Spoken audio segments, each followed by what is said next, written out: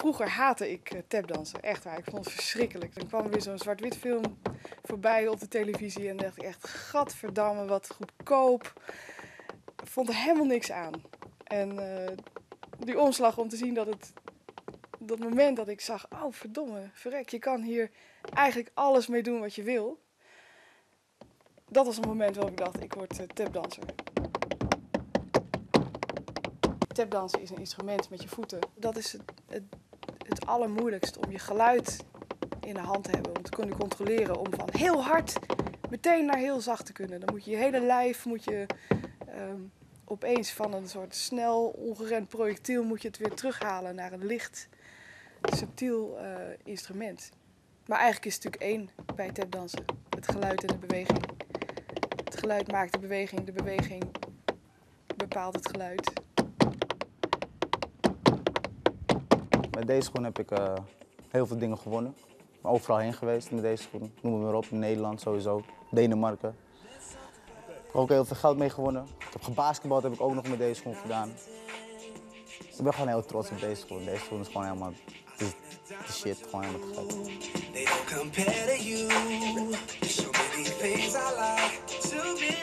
In het begin was het allemaal streetdance. Wat ik deed was uh, alleen maar streetdance. Toen heb ik gezien dat er ook andere stijlen bestonden. Toen ben ik pop en lock gaan, gaan doen. Toen heb ik uh, alleen maar dat uh, getraind, pop en lock, pop en lock. Nou, dit is een pop. En dit is een lock. Die lock.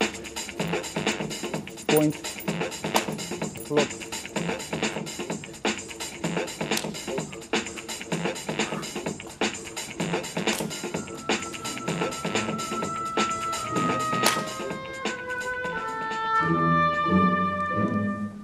Als ik mijn kleindochter dit zie dansen, dan ben ik zo van onder de indruk, daar krijg ik de koude rillingen van. En het is al zoveel jaar geleden dat zij dit danste. Want dit is zo enorm zwaar, deze rol te dansen.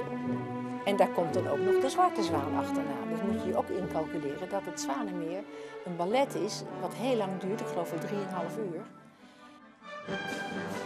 De voertees. Moeilijkste gedeelte van het Zwanenmeer. En zij heeft dus echt alles op alles gezet en ook heel veel moeten nalaten om echt professioneel eh, danseres te worden. De tango is een improvisatiedans en is bijvoorbeeld een heel andere dans als ballet. Met de tango moet je het echt met z'n tweeën maken. En met z'n tweeën maak je de improvisatie. Tango dans is een hele directe dans. Je boven innig contact, innig omhelzing. Je voelt ook direct of je partner erbij is, of zij zich overgeeft, ja of nee. Of ze je vertrouwt. Uh, krijg je dat vertrouwen van je partner, dan, dan merk je dat je zelf als man ook plotseling veel meer kan. Je, je voelt echt dat je samen bent. En dan kun je ook nog meer in de muziek gaan duiken. Nog meer wat gaan vertragen, wat gaan versnellen. En dan merk je hoe de dame daarop reageert. Je kan daar misschien nog mooiere dingen laten maken. En haar echt laten schitteren, zoals ze dat zeggen. En dan heeft het echt een, hele sensueel gevoel. Je kan echt voor drie minuten verliefd worden in zo'n dans.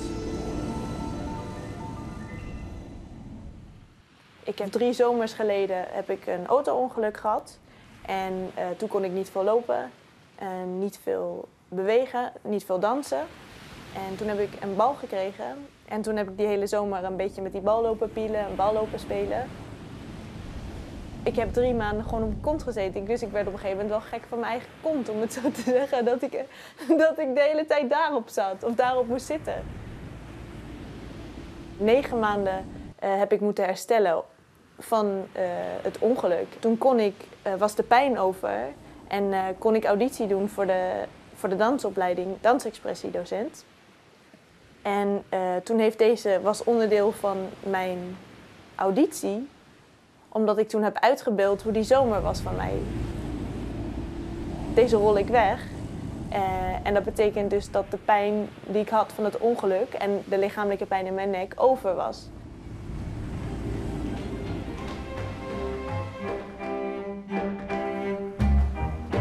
Ik speel ook solo, maar het allermeest speel ik met muzikanten. En dat uh, komt omdat ik daar zo mee bezig was om muzikant te zijn. Dus voor mij het allerinteressantste en het allerleukste was om te spelen met muzikanten. Als het lukt met muzikanten samen, als je aan het spelen bent en het is er echt. Die klik en dat je samen bent en dat je, je, je bent sneller dan je denken kan. Gebeuren dingen. Dan word je bijna high. Dat is, dan zit je in een soort flow. Dat is echt ongelooflijk. Mensen vragen dat heel vaak. Ben je muzikant of danser? En uh, ik zeg dan altijd, ik ben muzikant en danser. Want je beweegt, dus je danst op een bepaalde manier. Maar je maakt ook heel veel herrie. En uh, dat, is, uh, dat kan muziek zijn.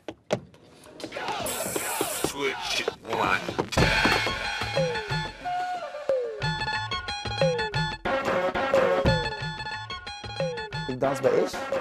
En Is is een dansinstituut, theater, waar je je expressie kan uiten. Uh, maakt niet uit wat.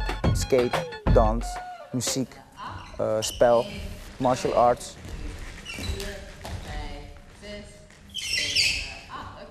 Ik droom mijn eigen dansschool te hebben en het door kunnen geven wat ik voel en wat, wat belangrijk voor mij is. Want groot worden, ja, zijn twee verschillende dingen. Of je wilt beroemd worden en groot, echt achtergronddans, Eddie Morales, al die dan, bekende dansers.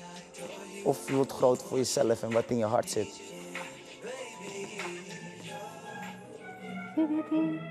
Dat is Igoné. Dat is onze kleindochter, die rechtse. 14 jaar. Uh, ik heb hier dus enkele leuke attributen van mijn kleindochter. Hier onder andere de balletschoentjes, van toen ze een jaar of 13, 14 was. En toen zij eenmaal opging uh, in, als Odette Odille in het Zwanemeer. Uh, dit is de, de oefentutu van de Zwarte Zwaan. Ik als oma heb daar dus mee dat ik uh, het heel fantastisch vind dat zij al die eigenschappen in zich heeft. Karakter, fysiek, de guts ook, om, om dit te durven doen. Uh, ja, en dan zeggen de mensen altijd van wie heeft ze dat? Ja, dan moet je natuurlijk verschrikkelijk lachen, want dat heeft ze natuurlijk volstrekt niet van mij. La Fundación Arturo Fabrici, que preside. Ik werd voor het eerst geraakt door de tango in 1991 toen ik de muziek hoorde van Osvaldo Pugliese. Het was een hele emotionele muziek die ik helemaal niet kende. Het raakte me echt diep. Zo diep dat ik ben gaan tango dansen. En binnen een half jaar ben ik ook naar Argentinië gegaan, naar Buenos Aires. En daar heb ik ook echt de Argentijnse tango beleefd in de danssalons. Marianne en ik dansen ook choreografieën op zijn muziek. En een van die choreografieën, A los Artistas Plásticos, hebben van zijn weduwe bladmuziek gekregen. En ook deze sjaal van Osvaldo Pugliese. Ik vond het zo mooi dat wij op die choreografie een, uh, gingen dansen. Stopt, stopt en is stil en is stopt en is stil. Stopt en stil, stopt. Lisa en ik zijn bezig met ons uh, afstuderen voor de opleiding docent dansexpressie. En uh, je ziet ons onderzoek doen naar wat uh, stem doet met ons. En dan uh, hoe dat gaat met beweging, stem en beweging. leidt het, brengt dat ons tot bewegen. Stop, stop, stop, stop! Waarom ik dans? Omdat dans mijn middel is om te, om, om te zijn, om te communiceren. Om, omdat ik door dans geraakt word en omdat ik volgens mij mensen kan raken door mijn dans.